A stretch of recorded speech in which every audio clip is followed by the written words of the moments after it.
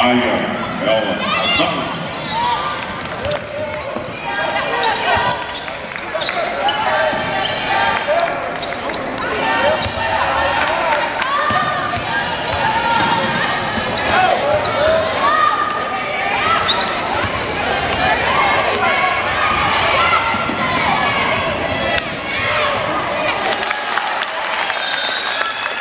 Thank you,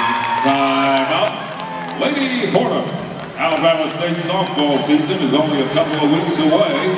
The 2016 SWAC Champs will begin their season on Friday, February 10th in Mobile, Alabama at the Sand Dollar Tournament against Houston Baptist. It's the Alabama State